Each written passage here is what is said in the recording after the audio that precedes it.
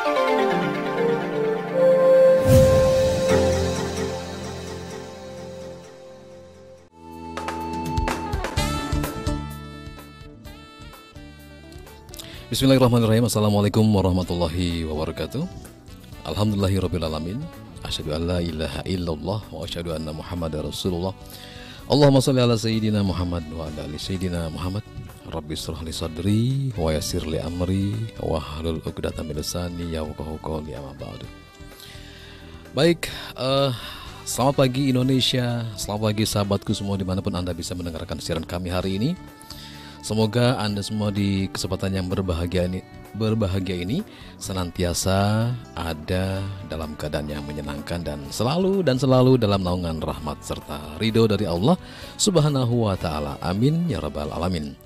Sahabatku, di mana pun Anda berada, Alhamdulillah hari ini saya Yosa dapat kembali hadir bersama Anda selama kurang lebih 90, 90 menit ke depan di program Sehatku. Untuk edisi hari ini, Rabu 11 Rabiul Awal 1442 Hijriah atau juga bertepatan dengan 28 Oktober 2020 Hari Sumpah Pemuda ya. Ya, acara ini pun serentak disiarkan di seluruh jaringan Radioku Network antara lain Radioku Kuningan.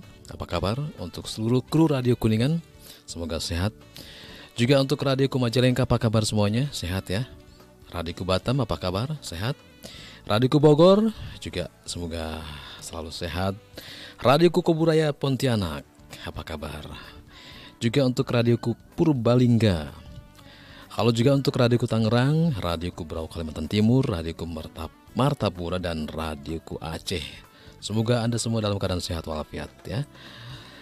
Dan Anda juga bisa mendengarkan acara ini melalui audio streaming kami di www.buyayahya.org www.radiokuonline.com dan www.radioku Cirebon Oke, um, sahabatku Untuk tema acara sehatku kali ini kita akan bahas bersama tentang radang amandel Ya, uh, sahabatku, radang amandel atau tonsilitis adalah kondisi di mana amandel mengalami peradangan atau inflamasi. Meski umumnya dialami oleh anak-anak usia 3 sampai 7 tahun, radang amandel juga dapat terjadi pada orang dewasa.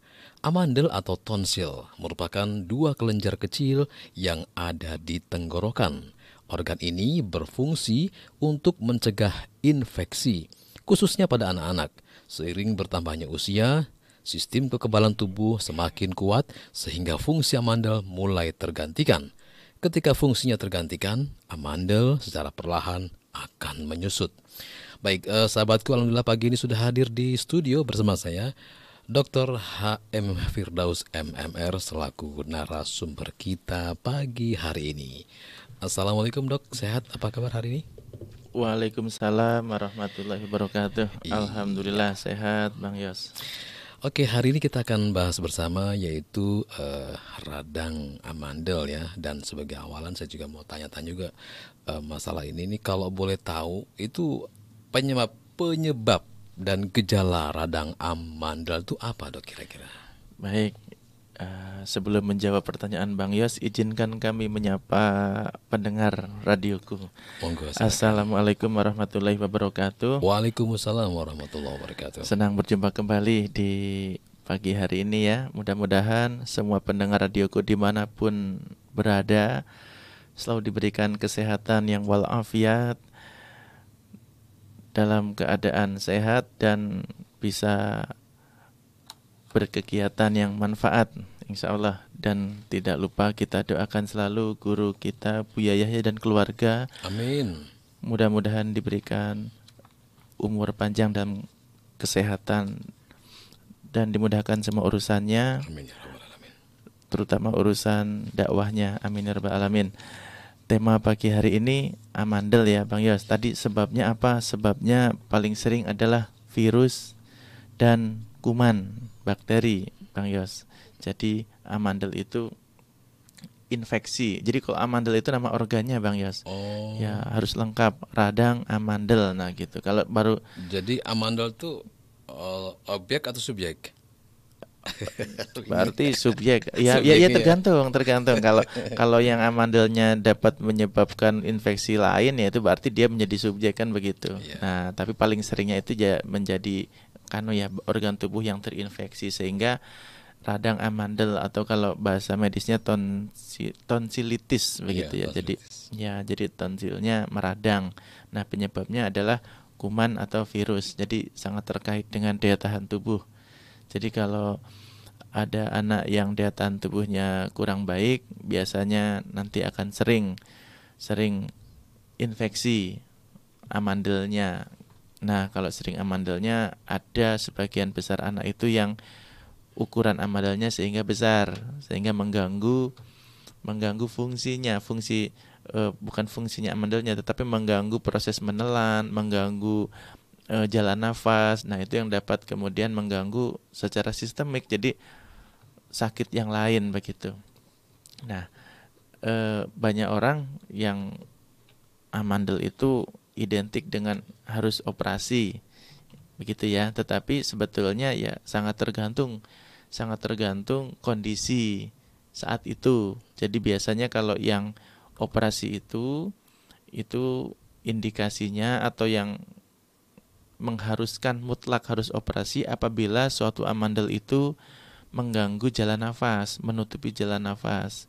Kemudian atau mengganggu proses menelan. Nah, mengganggunya parah begitu. Yang ketiga, mungkin ada suatu infeksi yang berat, ada nanah, abses gitu yang tidak membaik dengan pemberian obat-obatan. Itu, Bang Yos. Jadi kalau kalau kalau ada apa alasan itu maka ya harus diambil amandelnya. Terus kemudian gimana dok kalau amandelnya diambil? Apakah ada efek gitu kan? Iya. Ya tentunya semua tindakan itu ada efek. Cuma eh, semua itu kan dengan pertimbangan medis. Jadi belum tentu eh, suatu yang misalkan punya efek negatif kemudian eh, apa namanya menjadi tidak boleh.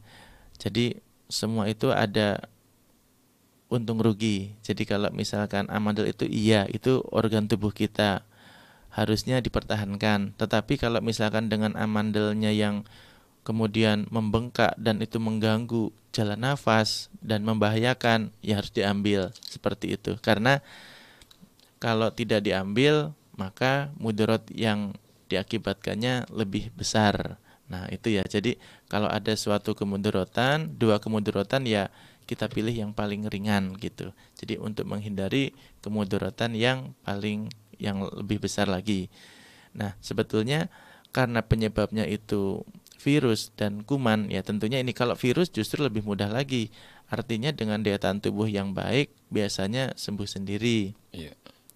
Kemudian kalau kuman biasanya nanti uh, perlu ke dokter untuk diberikan antibiotik. Nanti dokter akan memilihkan antibiotik yang yang memang uh, untuk membunuh kuman yang menginfeksi. Nah, yang penting adalah pencegahan, pencegahan.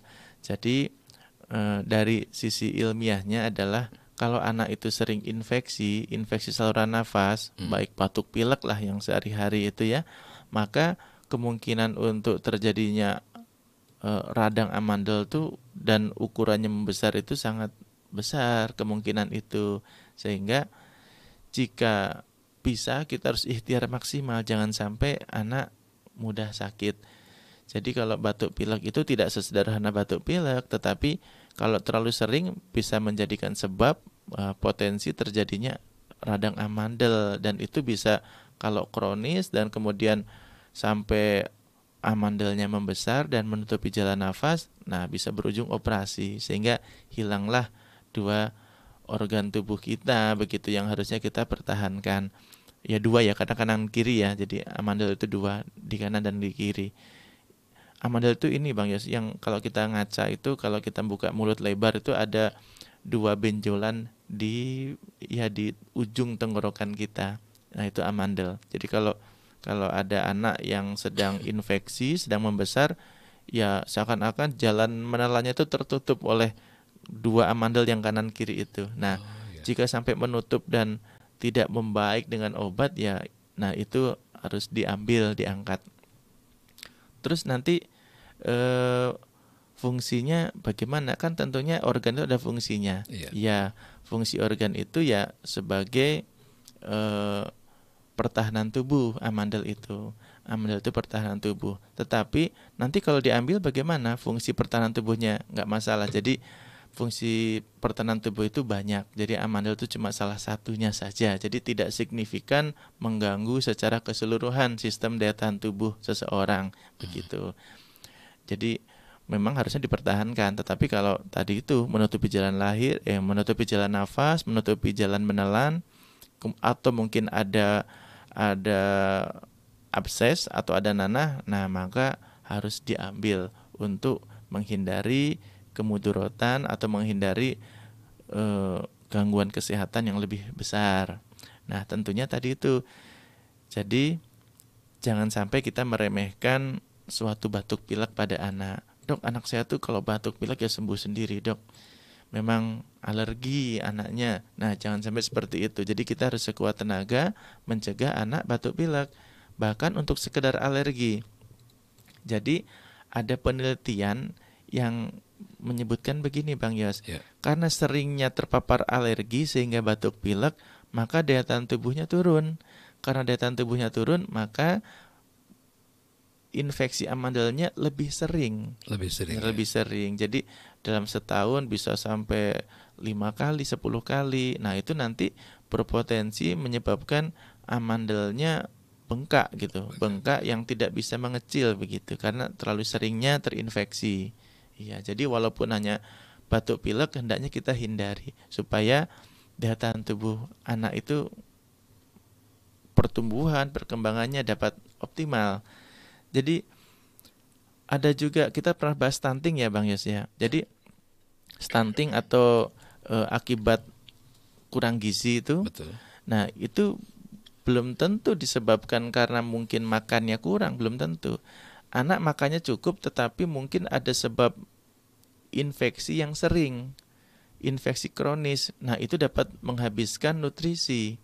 Jadi kalau ada anak misalkan makannya bagus, Bang Yos, bagus, bergizi, tetapi dia punya penyakit kronis atau mungkin sering sakit, maka energinya habis habis untuk sakitnya, habis untuk penyembuhannya. Sehingga harus sekuat tenaga kita itu menjaga anak jangan sampai sakit walaupun sekedar batuk pilek Bang Yos. Begitu. Jadi kalau misalkan tahu anak kita alergi dingin, ya jangan terpapar dingin. Kalau tahu anak kita bakal batuk kalau kena debu ya jangan kena debu. Ya pakai eh, kalau terpaksa harus keluar rumah saat cuaca tidak bag, tidak bagus ya pakai masker, alat pelindung diri ya yang supaya bisa mencegah paparan dari debu-debu mungkin yang mengandung virus atau kuman. Nah, untuk pencegahnya itu saja Bang Yos. Jadi daya tahan tubuh, makan bergizi, istirahat cukup, faktor lingkungan, kebersihan semuanya. Jadi itu yang yang bisa kita lakukan untuk mencegah amandel ya. Tema pagi hari pagi hari ini amandel. Karena ada pertanyaan dok, bagaimana menghindari amandel? Ya menghindarinya ya daya tahan tubuh saja, seperti itu. Oke, eh, ini kan amandel itu membengkak ya. Biasanya kan kalau sifatnya membengkak itu kan bisa reda, misalnya kaki jatuh membengkak itu bisa kembali. Nah ini untuk yang satu ini, apakah bisa ke- kembali normal atau berarti itu harus diangkat dok ya? Ya, ya memang idealnya suatu bengkak karena infeksi dia akan kembali semula.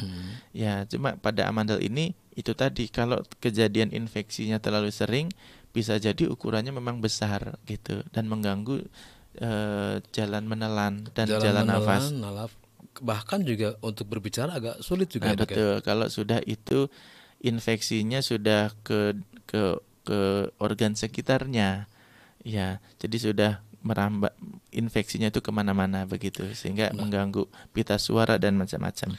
Oke, untuk saat-saat dioperasi atau diangkat itu apakah memang eh, di saat amandel membesar atau memang di saat amandelnya itu sudah terlihat membesar? Jadi gini, eh, nanti dokter THT biasanya ya yang akan menilai. Jadi Tapi yang pasti kalau operasi itu sedang tidak infeksi yang akut. Iya, Ya, iya, jadi iya. disembuhkan dulu radangnya. Kayak sakit gigi gitu kan ya, Ya, nunggu betul. jangan sakit dulu ya. Betul. Jadi jadi nunggu radangnya selesai biasanya nanti dioperasi. Itu dengan pertimbangan tadi itu.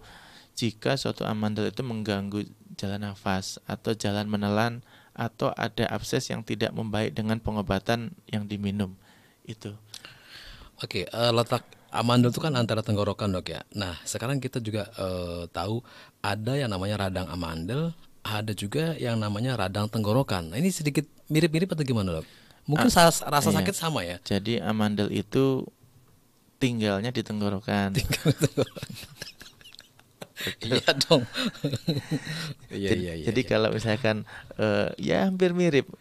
Eh, Ya biasanya ke kalau tenggorokan ya amandelnya pun dia tipis-tipis infeksi. Nanti Tapi kalau nggak kena ya mandelnya kalau radang tenggorokan. Kan Ya, saya juga bisa. pernah dibilang dokter, ada radang tenggorokan, ini obatnya ini ini selesai. Alhamdulillah nggak kena amandel. Iya. Ya, ya, ya belum tentu juga Oh, Bang iya. Yos kan Bang Bang Yos mendiagnosa sendiri. iya. Kalau ya sebetulnya namanya radang itu belum tentu seperti yang kita bayangkan radang itu harus bengkak, harus infeksi Iya. enggak. Kadang-kadang ada cuma rasa kering, gatal itu bisa jadi dari radang juga, cuma ringan. Iya. jadi iya. jadi radang tenggorokan itu jangan diartikan kita ada demam tinggi ya kita sekedar misalkan rasa tidak nyaman saja kok rasa kering rasa gatal di Hmm. Tenggorokan mau flu tuh itu suka- mungkin radang begitu Iya, jadi iya. jadi radangnya tapi masih ringan biasanya seperti itu Iya, mudah-mudahan tidak ke amandel ya. Saya juga pernah radang tenggorokan mungkin karena banyak eh, nyanyi bersiaran suaranya kencang-kencang.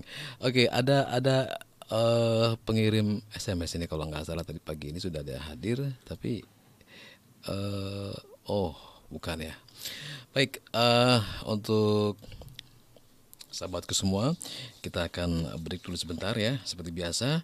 Eh, anda akan kami undang untuk bisa mengikuti acara ini atau berpartisipasi di acara ini melalui telepon di 085 284 700 147. Untuk SMS atau WhatsApp Anda bisa pergunakan 081321461079. Untuk Facebook Anda bisa ketik Radioku Cirebon dan Anda juga bisa bertanya-tanya di situ ya. Kami akan segera kembali.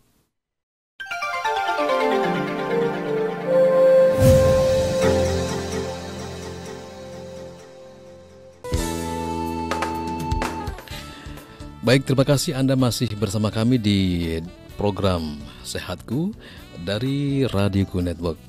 Oh ya, kami undang Anda untuk bisa berinteraksi di acara ini melalui telepon di 085284700147 untuk SMS atau WhatsApp di 081321461079 Facebook Radioku Cirebon.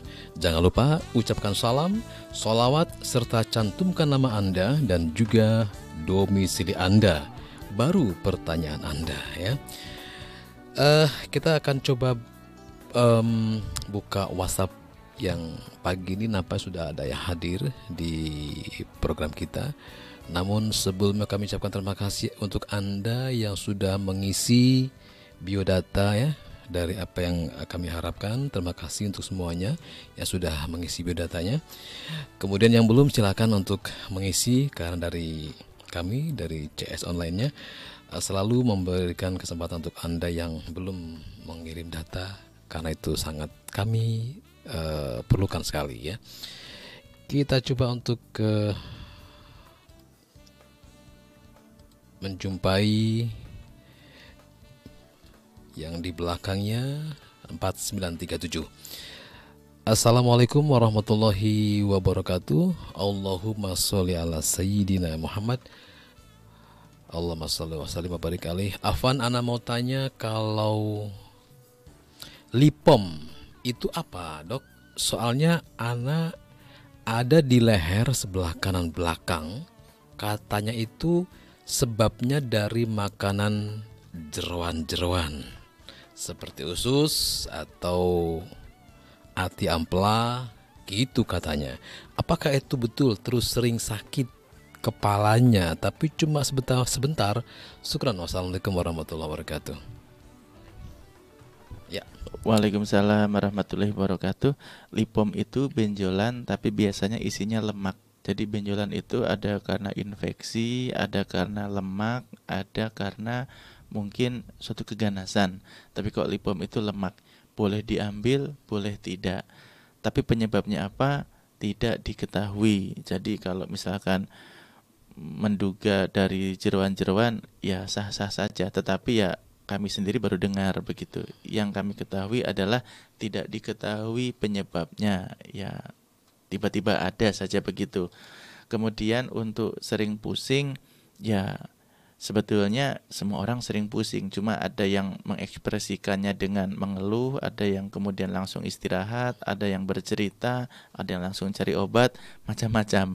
Cuma pusing itu sesuatu gejala yang biasa kita sehari-hari itu. Kurang tidur bisa pusing, makan terlambat bisa pusing, kemudian eh, mungkin terlalu lelah juga bisa pusing, begitu kan? Eh, atau mungkin ada faktor psikologis pusing juga ya. Atau mungkin anak saya sedang mengerjakan soal pusing juga. Jadi jadi pusing itu banyak. Jadi kalau kalau putih kalau pusing pusing itu yang dimaksud sakit kepala gitu ya ya tinggal penyebabnya apa. Nggak usah cari obat penyebabnya mungkin kurang tidur tadi malam mungkin kelelahan mungkin habis perjalanan jauh atau mungkin makan yang tidak teratur itu saja. Atau mungkin memang ada faktor psikologis lain misalkan sedang banyak urusan itu juga bisa mengakibatkan pusing. Ya jadi ini bukan uh, mirip-mirip dengan amandel dok ya? Bukan ya? Uh, artinya kan dia cuma pembengkakan ya? Oh ya kan barusan kan di leher. Hmm, kok li, kalau gini di leher tuh bagian luar apa dalam dok? kami menduga kalau kalau pasien sudah yang bertanya udah bilang lipom itu artinya bahasa udah udah ke dokter berarti begitu. Iya karena kalau orang awam nggak tahu lipom apa iya, gitu ya. iya dan lipom itu di luar di kulit. Oh di kulit? Iya Masya Allah. iya. Iya malah saya nggak tahu jadi iya di, di di kulit jadi benjolan di kulit. Oh. Iya.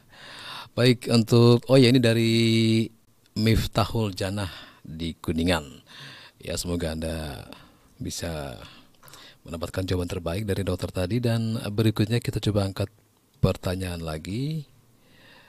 Ini datang dari siapa ini?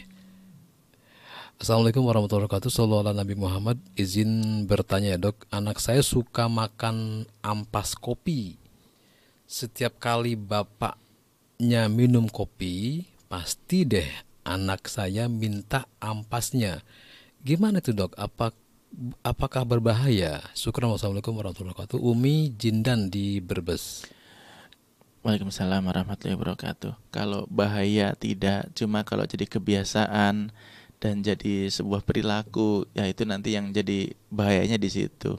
Jadi kalau itu sampai kemudian nanti usia lanjut, kemudian eh, mungkin apa nanti ada kondisi-kondisi yang tidak membolehkan minum kopi, nah akan repot karena sudah menjadi suatu kebiasaan. Jadi ya hendaknya apabila ada perilaku-perilaku yang tidak wajar, hendaknya diwajarkan sajalah begitu. Iya, kalau anak-anak ya belum waktunya minum kopi, boleh sih ngincip-ngincip boleh gitu ya. Tapi kalau kemudian harus setiap hari, kalau bisa ya kita hindari karena itu nanti jadi suatu kebiasaan lah.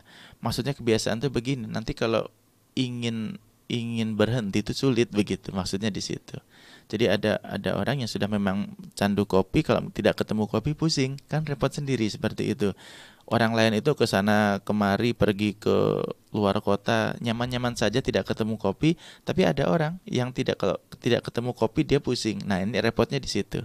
Jadi mudah-mudahan kita tidak terganggu dengan hal-hal seperti itu. Jadi jangan dibiasakan hal-hal yang akan menyulitkan kita seperti itu. Mungkin jawabannya begitu, Bang Yas. Ya, uh, untuk Umi Jindan di Brebes ya. Kemudian kita coba angkat dulu penelpon berikut ini. Selamat pagi, Assalamualaikum warahmatullahi wabarakatuh. Waalaikumsalam warahmatullahi wabarakatuh. Iya. Allahumma salli ala Sayyidina Muhammad wa ala ali Sayyidina Muhammad. Allahumma salli wa sallim Dengan Ibu An silakan. Alhamdulillah. Bang Yos, dokter sehat. Alhamdulillah. Mudah-mudahan sehat selalu ya. Amin. Dan mudah-mudahan selalu dijaga oleh Allah Subhanahu wa Amin. Amin. Uh, Pak Dokter, ya. Uh, Bu An mau tanya ini ya, uh, apa namanya tuh, kenapa Bu An kalau banyak sekali uh, mondar mandir mondar mandir gitu tuh ya, nggak uh, langsung itu ya, nggak langsung terasa. Tapi kalau udah masuk ke rumah gitu, kayaknya udah apa namanya tuh kaki badan tuh lemas semua dan jantung kayaknya berdebar-debar ya sekarang-sekarang ini jantung suka kayak orang yang habis olahraga berat tuh gitu usia dan berapa Bu An? Usia tuh 60 ya. 60, baik baik. Usia 60. Kalau dulu pernah ya, kok dada tuh nggak kayak dulu gitu waktu masih muda gitu ya. Masih gadis. Ya. Apa namanya ada tek tek tek tek tek gitu. Betul. Sempat nggak ada dok ya. Terus sekarang sekarang ini nih, iya gitu kalau kebanyakan apa mondar mandir mondar mandir gitu tuh, itu sorenya tuh masuk ke rumah tuh, ya itu kayak orang habis olahraga gitu lemas gitu pengennya baik, rebahan lama gitu udah gitu aja ya dokter baik baik terima kasih Assalamualaikum warahmatullahi wabarakatuh. Waalaikumsalam. Ya, Waalaikumsalam warahmatullahi wabarakatuh. Ibu Andi ke Gunung. Terima kasih doanya dan doa yang sama untuk Ibu An dan keluarga. Semoga diberikan umur panjang dalam ketaatan, sehat walafiat. Amin, amin, ya alamin.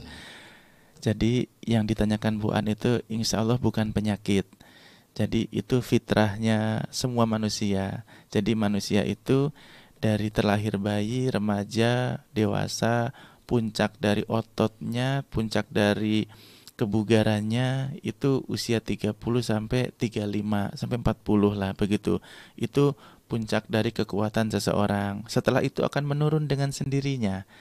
Jadi Bang Yos mungkin waktu usia muda mampu berlari 10 kilometer Nah, usia sekarang 40 ya berkurang jadi 7 km.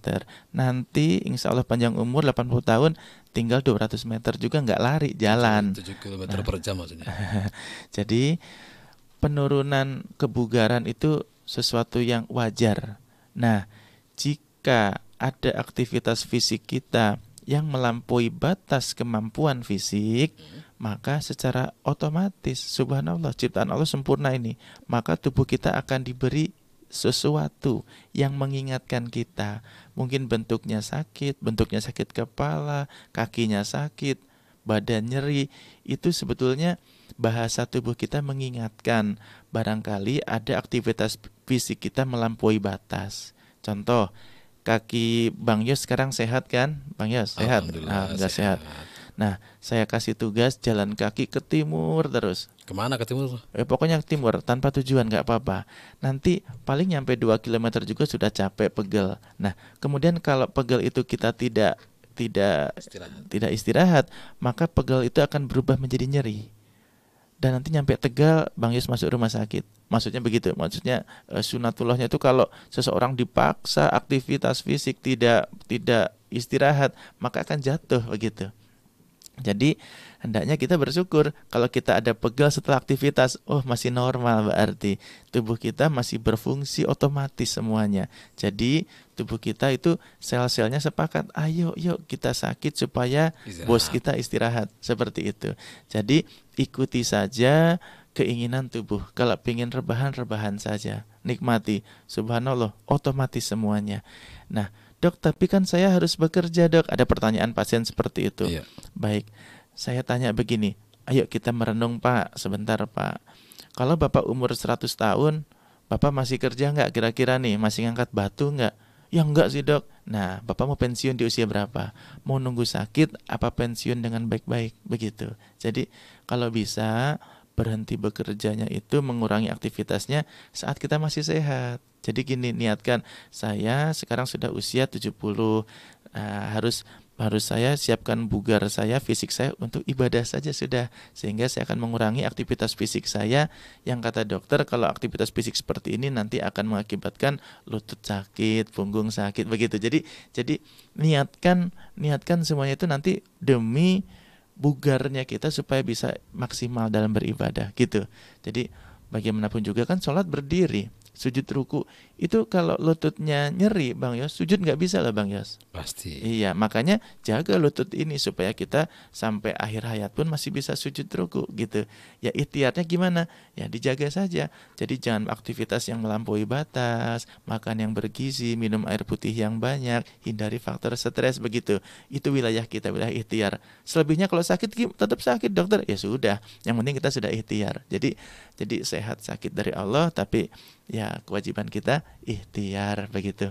Jadi yang ditanyakan dengan oleh Ibu An tadi jantung berdebar, capek sekali, pingin rebahan, yaitu karena tanda kelelahan saja. Kalau rebahannya sudah cukup, ya segar kembali. Ya, tapi nanti ngulangi lagi aktivitas fisik yang capek bakal begitu lagi. Jadi mm, untuk untuk apa selanjutnya? Jadi kita kok sudah lelah istirahat saja. Ya, tugas-tugas yang berat giliran yang mudah ya gitu ya jadi amalan yang mudah biar disuruh seperti itu Bu An mudah-mudahan bermanfaat jawabannya Iya intinya perbanyaklah istirahat ya Bu An ya. Jadi kalau memang sudah umur umur segitu ya nggak usah terlalu ngoyo deh ya. Oh iya uh, satu eh, lagi Bang Yos, boleh nambahan. Kenapa kalau saat aktivitas fisiknya kok nggak nggak merasa keluhan? Iya, Keluhannya iya, itu setelah masuk rumah. Di saat ber, Iya, karena uh, karena bahagia, semangat, ya? semangat. Jadi gini, bahagia, gembira dan semangat itu yang menutup nyerinya. Ya, jadi begitu selesai aktivitasnya ya nyeri semua terasa, badannya. Ya? Iya, jadi jadi Bang Yos sekarang misalkan saya kasih sesuatu aktivitas yang menyenangkan, maka tidak akan nyeri dan tidak akan sakit. Paling setelahnya nanti begitu. Jadi jadi saat kita melakukan sesuatu dengan gembira, dengan bahagia itu kadang nyeri tidak terasa, lelah tidak terasa. Seperti itu Bang Yos. Ya kalau disuruh istri tercinta kali seumur, Bang Yos pasti luar biasa semangat, nggak terasa. Semangat Tapi cari begitu, orang lain begitu selesai, ah sudah ya uh, kaku badannya. Seperti itu kira-kira gambarannya. Iya ya. untuk untuk ibuan ya. di ke gunung, jadi berbaca istirahat ya. Oke, jadi nanti bisa menyuruh yang lebih muda untuk bisa membantu ya anaknya atau putra putranya gitu. Oke. Uh, kita coba lagi angkat pertanyaan berikutnya ini datang dari Bapak Daud di Kuningan. Maaf keluar tema. Iya ya nggak apa-apa. Assalamualaikum warahmatullahi wabarakatuh. Waalaikumsalam warahmatullahi wabarakatuh. Allahumma sholli ala sayyidina Muhammad wa ala ali sayyidina Muhammad. Allahumma sholli wa sallim wa barik uh, maaf ya dok, keluar tema nih. Menurut medis pakai alat kontrasepsi saat berhubungan berbahayakah? Efek sampingnya apa saja? Terus maaf, kalau pelumas minyak zaitun untuk organ wanita berbahayakah? Wassalam Mang Daud di Kuningan. Begitu. Waalaikumsalam warahmatullahi wabarakatuh pertanyaannya tidak detail sehingga kami jawabnya tidak bisa detail juga ya. Jadi kontrasepsi itu kan macam-macam. Ada yang pil, ada yang suntik, ada yang mohon maaf pengaman yang dari plastik nah, gitu ya. Ini maksudnya seperti itu, yang plastik oh, dari karet itu. Ya. Sebetulnya nyaman itu dikembalikan ke masing-masing. Ya jam kenyamanan itu dikembalikan ke masing-masing. Nah, itu aja jawabannya itu kayaknya intinya. Tapi dia berbahayakah katanya? Efek kalau, sampingnya apa saja? Kalau berbahaya tidak. Efek sampingnya tergantung masing-masing. Tadi tergantung psikologis, psikologis. Ada yang yang ada yang perfeksionis, ya tapi per perfeksionisnya yang mana juga? Ada perfeksionis yang alami. Nah, itu hmm. dia tidak akan merasa nyaman dengan alat kontrasepsi. Tetapi kalau yang perfeksionis yang kedua supaya mohon maaf sudah uh, misalkan terlalu dekat jarak dengan kakaknya sehingga ditunda dulu kehamilannya. Ya sehingga dia akan merasa nyaman saja dengan kontrasepsi karena ada tujuan begitu. Karena ada tujuan. Kalau tadi misalkan sesuatu yang uh, minyak zaitun atau apa tadi ya uh, ya boleh-boleh saja. Selama nyaman uh, keduanya nyaman ya, uh, ya perlu perlu perlu di apa digali lagi secara psikologis. Karena gini eh, mohon maaf jadi sebetulnya kalau eh, pasangan itu kemudian eh, memang menginginkan maka secara otomatis sebetulnya sudah tanpa harus eh, ditambah minyak segala macam begitu. Ya jadi barangkali mungkin eh, apa pasangan kita karena faktor usia segala macam sudah mungkin apa namanya ada kami dapat pasien ya, dapat pasien yang memang dia hanya menjalankan kewajiban saja akhirnya. Betul. Iya, dia tidak tidak ingin sebetulnya. Bahkan kalaupun katakanlah misalkan suaminya setahun keluar negeri pun dia nggak ada kebutuhan itu lagi sebetulnya. Cuma jadi menjalankan kewajiban saja. Nah, nah bagi yang seperti ini ya perlu kemudian ditingkatkan lagi. E, mungkin apa apa perlu perlu jalan-jalan, perlu apa ya ada jiwa muda yang didatangkan lagi seperti itu. Jadi tidak sebuah rutinitas yang suatu kewajiban gitu ya. Jadi harus harus mungkin jalan-jalan lagi mengenang masa dulu. Itu hal-hal secara psikologis yang bisa ditempuh begitu. Sehingga nanti tidak perlu lagi eh, apa suatu sesuatu yang ditambahkan untuk membuat nyaman seperti itu. Ya itu jawaban dari kami. Eh, Mang Daud di Kuningan. Ya. Baik, uh, kita kembali sementara untuk uh, break kembali ya. Kita coba sambung lagi nanti di sesi berikutnya. Sahabatku, sebelum kita lanjutkan perbincangan ini, kami undang Anda untuk bisa berinteraksi di acara ini melalui telepon di 085 2847 Untuk SMS atau WhatsApp di 081 321 461079 untuk Facebook di Radio Cirebon. Kami segera kembali.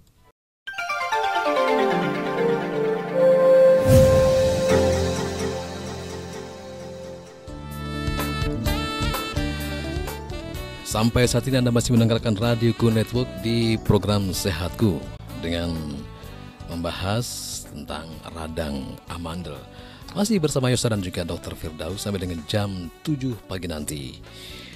Oh ya, kita kembali untuk uh, memberi kesempatan untuk Anda yang ingin berinteraksi di acara ini. Anda bisa telepon di 085284700147. Untuk SMS uh, WhatsApp di 081321461079 serta Facebook di Radioku Cirebon. Jangan lupa ucapkan salam, solawat serta cantumkan nama Anda dan juga domisili Anda baru pertanyaan Anda.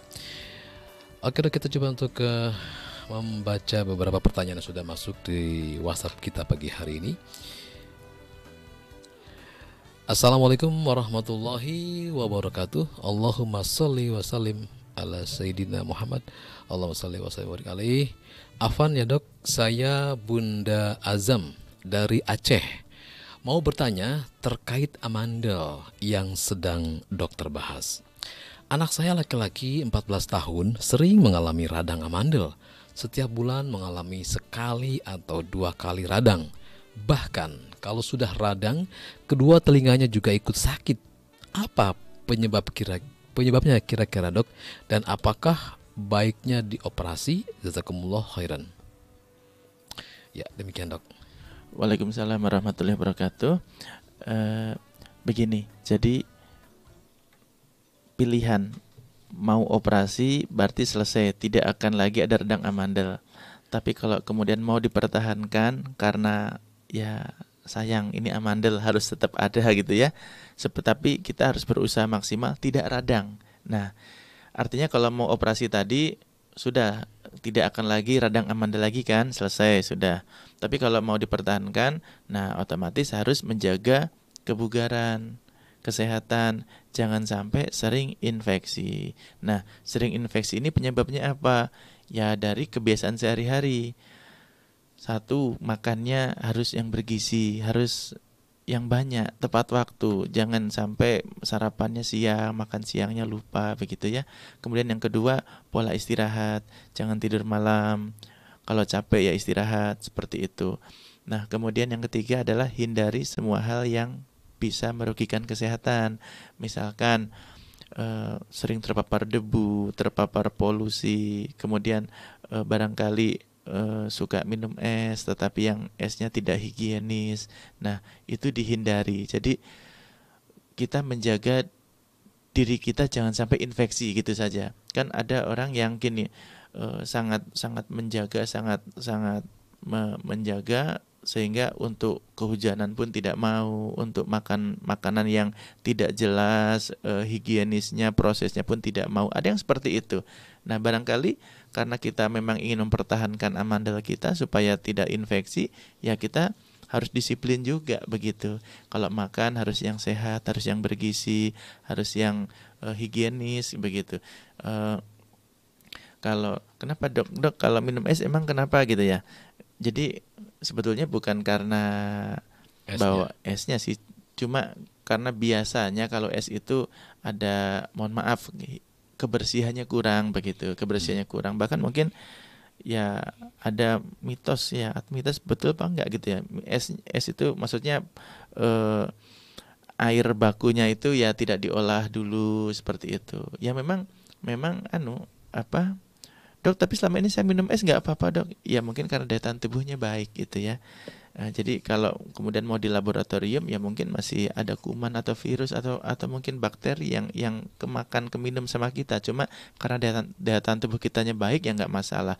Cuma untuk tadi ibu yang bertanya putranya ya ya hendaknya hindari. Jangan kalau yang lain mungkin minum es sembarangan begitu ya kalau putranya jangan. Jadi untuk mencegah supaya tidak mudah Radang, infeksi. infeksi. Kemudian tadi sampai merembet ke telinga. Itu berarti saran kami begitu ada tidak nyaman tenggorokan langsung ke dokter supaya dokter nanti memberikan biasanya antibiotik. Jadi kalau kan jadi THT ya dari dari tenggorokan bisa merembet ke hidung, bisa dari tenggorokan merembet ke telinga, infeksinya itu. Jadi karena ada salurannya Bang Yos. Sehingga kalau infeksi di salah satu organ ya kita harus segera tangani jangan sampai organ lainnya kemudian ikut infeksi. Begitu. Jadi saran kami ibu ke jika ada gangguan tenggorokan langsung ke dokter saja. Langsung ke dokter biar dokter nanti kemudian memberikan suatu tindakan.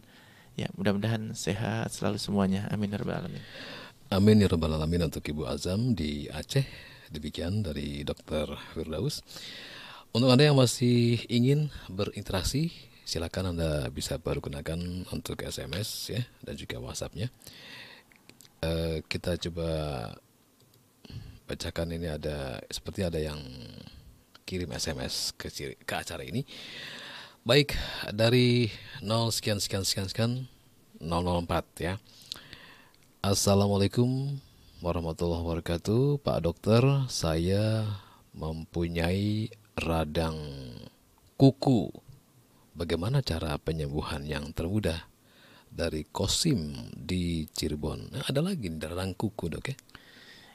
Ya semua organ tubuh kita bisa radang Bang Yos. Ya intinya gini, kalau penyebabnya itu kuman, ya nanti ke dokter, dokter akan memberikan antibiotik. Cuma yang paling penting adalah semua dari keluhan-keluhan fisik kita itu adalah kita harus tahu penyebab sehingga kita bisa menghindari. Jadi kalau penyebabnya radang kuku biasanya apakah kukunya itu yang kemudian menusuk ke dalam? Kan ada ada anatomis anatomis kuku anatomis itu gini bentuk kuku seseorang itu kadang dia melukai melukai dirinya sendiri begitu. Hmm. dan bisa jadinya bisa bisa radang berulang. Setiap bulan ada aja sakit kuku begitu ya. Nah kalau yang demikian biasanya dokter akan mempertimbangkan kukunya diambil saja biar tumbuh kuku baru oh, begitu. iya. Jadi jadi kalau untuk selama radang akutnya, radang sedang infeksinya nanti ke dokter diberikan antibiotik biasanya, tapi untuk mencegah supaya tidak berulang, jika penyebabnya itu kuku yang menusuk, ya kukunya diambil biasanya, begitu. Itu jawaban kami. Ya, untuk atau Kosim di Cirebon ya. Kemudian uh, dari siapa lagi nih?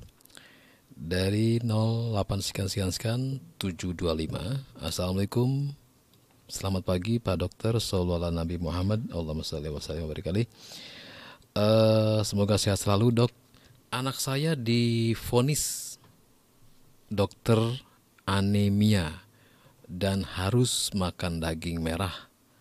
Semua sudah dilakukan. Nah, ada ada nggak obat yang bagus untuk membantu? Anak saya normal apa ini Seki, sekarang Wassalamualaikum warahmatullahi wabarakatuh Waalaikumsalam warahmatullahi wabarakatuh jadi penyebab anemia itu banyak sekali, banyak sekali. Mulai dari yang kita bahas minggu lalu yaitu hmm. cacingan, hmm. itu iya. juga menyebabkan anemia. Anemia betul. Kemudian kurang nutrisi karena makannya itu tidak tidak tidak lengkap gizinya hmm. atau memang bisa juga disebabkan mungkin seorang anak itu punya penyakit kronis yang sehingga energinya itu habis untuk melawan penyakit misalkan ada flek atau mungkin sering sakit batuk pilek, nah sering diare itu bisa mengakibatkan habisnya energi, habisnya nutrisi-nutrisi. Jadi bukan untuk tumbuh tapi malah untuk mengobati. Nah, kalau eh, apa saja yang dapat meningkatkan HB ya tidak ada yang lebih bagus dari makanan. Ya, makanan, makanan itu terbaik, iya. Makanan terbaik. Jadi uh, makan yang banyak saja ya tidak perlu juga harus daging setiap hari. Jadi ya ajari anak makan tahu tempe sayur ikan telur ya begitu. Jadi jadi itu semua juga penambah darah penambah anemia penambah HB ya. Jadi uh, dari makanan yang terbaik. Kalau mau beli vitamin silahkan saja yang suka anak mana gitu aja. Biasanya kalau anak-anak itu lihat gambarnya saja. Jadi bebas saja tetapi maksud kami jangan kemudian kita sandarkan ikhtiarnya pada hanya sekedar vitamin tapi harus dari pola makan pola makan. Dan pastikan tidak ada sebab lain tadi ya cacingan infeksi kronis. Infeksi kronis itu gini sering batuk pilek lama lah begitu batuk pilek lama. Nah pastikan itu tidak ada. Ya eh, ajari anak untuk bisa makan semua makanan begitu tentunya yang sehat kurangi jajan ya biasanya Kenapa tidak boleh jajan? Karena jajan itu akan meng, akan mengurangi nanti porsi makannya yang sungguhannya begitu. Jadi misalkan gini, ibu makan ibu masak sayur, masak ikan misalkan.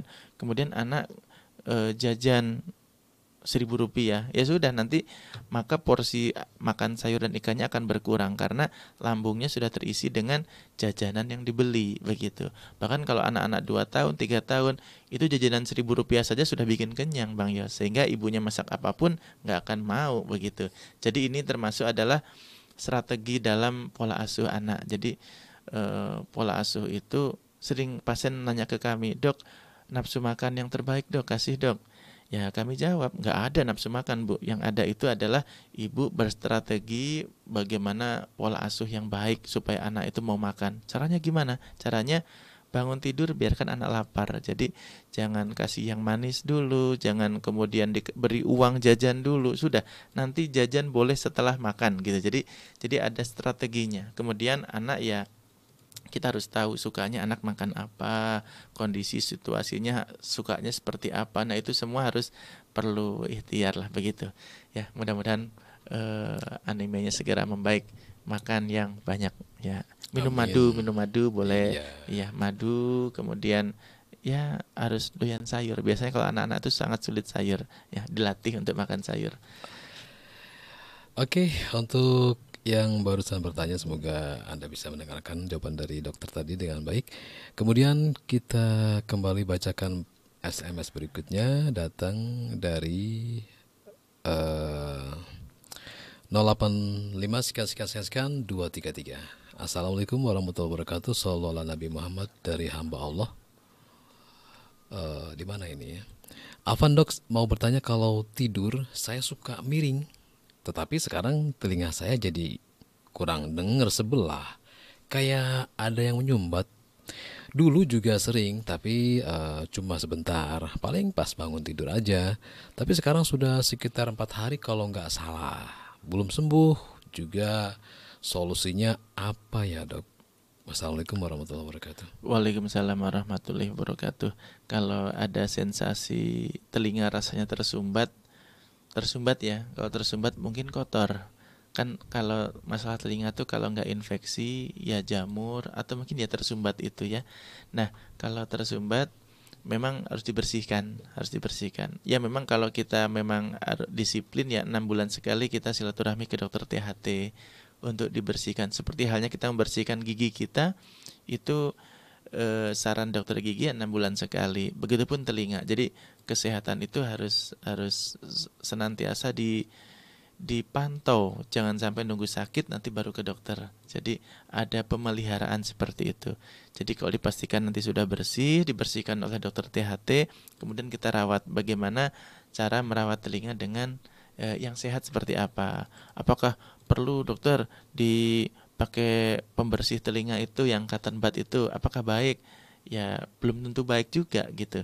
Jadi ada beberapa uh, kasus cotton bud itu hanya kemudian mendorong kotoran makin dalam jadinya atau malah terlalu membersihkan telinga terlalu bersih juga tidak baik Bang Yos karena lendir telinga itu lendir telinga yang seperti minyak itu itu sebetulnya itu ada fungsinya yeah. vital itu hmm. ya itu mencegah debu-debu untuk nempel erat sehingga nanti kalau secara ilmiah kalau kita mengunyah lama itu itu cara cara kita mengeluarkan kotoran-kotoran telinga yang yang alamiah tadi.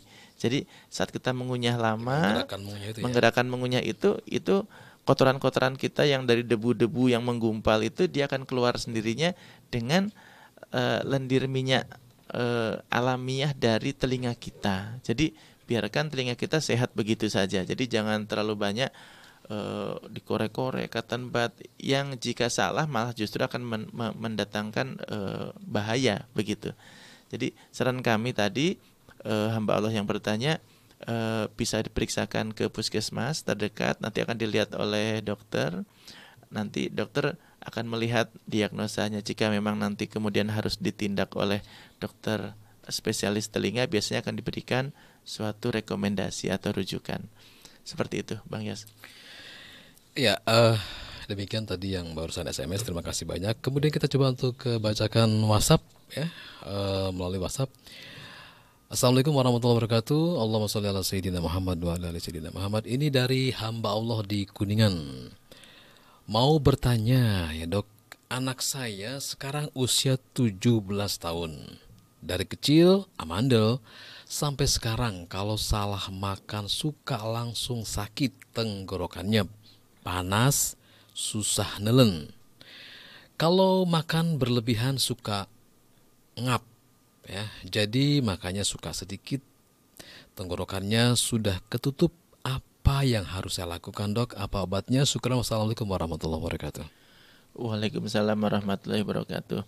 Ada dua poin ya. Yang pertama poin adalah eh, jadi kalau salah makan kemudian sakit ya tinggal jangan salah makan kan begitu yeah. yang kedua harus dinilai tadi tertutupnya jalan menelan atau jalan nafasnya itu derajatnya seperti apa apakah memang yang cenderung membahayakan atau tidak kalau cenderung membahayakan mengganggu mengganggu pernafasan mengganggu mengganggu proses menelan nah nanti biasanya dokter THT akan menyarankan operasi. Tetapi kalau masih bisa kemudian dok tapi kalau habis dari dokter kemudian minum obat sudah dok biasa lagi makan pun biasa. Nah artinya masih efektif dengan obat pengobatan. Artinya tinggal jangan jangan apa ya eh, tinggal lindungi saja jangan sampai mudah infeksi gitu saja sudah. Jadi tidak minum es sembarangan, jaga daya tahan tubuh, istirahat cukup, makan yang bergizi gitu. Jadi jangan sampai sakit, jangan sampai salah makan. Jadi saran kami lebih baik ke dokter eh, THT untuk dinilai untuk dinilai kalau memang nanti biasanya yang cenderung membahayakan dokter THT akan merekomendasikan operasi. Tetapi kalau kita sampaikan dok, mungkin nggak dok tanpa operasi dulu dok.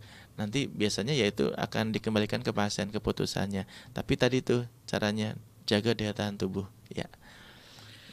Mudah-mudahan ya, sehat semuanya. Untuk hamba Allah di Kuningan uh, dari Desa Lengkong Kuningan ya. Ada satu pertanyaan yang belum kami coba jawab dari SMS ini dok uh, dari 082 sekian sekian sekian 262 Assalamualaikum warahmatullahi wabarakatuh. Waalaikumsalam warahmatullahi wabarakatuh. Allahumma salli ala Sayyidina Muhammad. Allahumma salli wa sallim barik um, Dokter sekarang Sekarang nih beredar video koalisi dokter di apa ini di Inggris menentang kebohongan corona.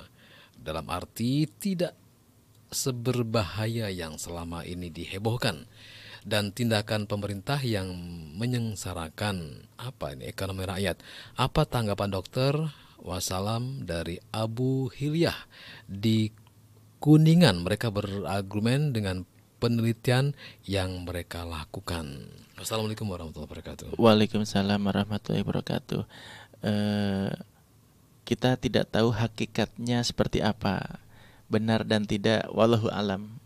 Kita tidak tahu. Cuma kita bersandar pada uh, pemerintah dalam hal ini, kemudian Kementerian Kesehatan itu yang untuk saat ini yang harus kita pegang karena kita uh, warga negara gitu yeah. ya. Itu yang pertama. Yang kedua, ya betul bahwa virus ini sebetulnya tidak berbahaya bagi yang bugar, bagi yang sehat, yang bugar.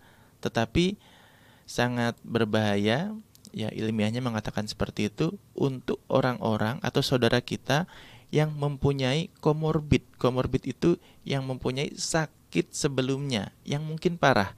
Misalkan sudah sakit jantung, diabetes, mungkin ada riwayat stroke atau hipertensi atau infeksi tertentu yang sudah lama atau yang sudah sepuh sekali. Nah, secara ilmiah virus ini akan mengakibatkan bahaya bagi kelompok saudara kita yang tadi yang saya sebutkan. Nah, siapa yang dapat mengantarkan virus itu dari luar rumah kemudian akan terpapar ke misalkan kakek kita yang sudah e, sepuh dan mempunyai e, komorbid, siapa yang mengantarkan? Ya kita ini yang muda. Jadi kita ini yang muda ini sebab dapat menjadi perantara, dapat menjadi pengantar virus. Nah, itu yang harus kita jaga semaksimal mungkin jangan sampai badan ini menjadi perantara virus. Jadi kalau kita misalkan mematuhi protokol kesehatan, bermasker, jaga jarak, tidak berkerumun, itu bukan untuk kita yang insya Allah bugar, tetapi demi menjaga orang-orang yang saya kas, yang saya sayangi, ya, menjaga guru-guru ya. sepuh kita yang ada di sekitar kita yang mungkin jika beliau-beliau ini terpapar dapat berpotensi membahayakan. Nah, kita ini sebagai penjaga ikhtiarnya begitu. Jadi bukan bukan kalau kita pakai masker bukan saya takut virus, tidak. Bukan saya takut sakit, tetapi demi menjaga orang yang kita sayangi di rumah. Kita akan ketemu orang tua kita, guru-guru kita, paman kita, mungkin ada handai sanak saudara yang yang sakit, kita supaya bisa nengok. Kalau kita steril kan kita aman. Tapi kalau kita menjadi menjadi kitanya sakit, kitanya bawa virus, walaupun diri kitanya tanpa gejala, tapi kita bisa menularkan ke yang lain. Nah, itu itu jadi motivasi tertinggi dari kita menjalankan protokol kesehatan ini sebagai pelindung saudara kita yang lain. Mungkin ada ada ada di di di daerah lain yang memang masyarakatnya sudah madani. Saya bilang madani gini, artinya sudah semuanya menjunjung tinggi kesehatan makan bergizi, kesterilan itu dijaga betul-betul, lingkungan sanitasi baik, misalkan di Inggris oke okay lah, seperti itu. Maka sangat mudah mengatur orang bahwa ini sudah terpapar. Nah, harus bisa nanti kemudian dipisah, terisolasi dengan yang kelompok yang yang rentan. Nah, kita di sini mungkin nggak seperti itu. Jadi kalau kalau di Indonesia dengan jumlah penduduk yang padat, dengan dengan kerumunan di mana-mana, itu akan lebih aman jika kita berusaha maksimal untuk tidak terpapar. Itu jadi sudut pandang kami seperti itu. Jadi kalau kami pakai masker, kami menjaga jarak, kami tidak berkerumun bukan untuk diri kami, tetapi itu sebagai ikhtiar kami menjaga orang-orang yang saya sayangi. Itu. Baik. Kami. Baik dok, uh, dan juga sahabatku di mana pun anda berada, tak terasa kita sudah berada di penghujung acara ini. Untuk itu kita, uh, eh, kami persilakan untuk Dr. Muhammad Firdaus bisa memberikan kesimpulan dari apa yang kita bicarakan pagi ini tentang radang amandel. Silakan. Baik, amandel itu sejatinya nama organ tubuh kita. Jadi kalau infeksi kita sebut radang amandel. Nah, kalau bahasa medisnya tonsilitis. Nah, tidak semua radang amandel itu harus dioperasi, tergantung uh, indikasi tergantung sebabnya apa. Ada tiga sebab yang mengharuskan amandel segera dioperasi, yaitu yang pertama jika bengkaknya itu menutupi jalan nafas, kemudian yang kedua menutupi jalan menelan, hmm.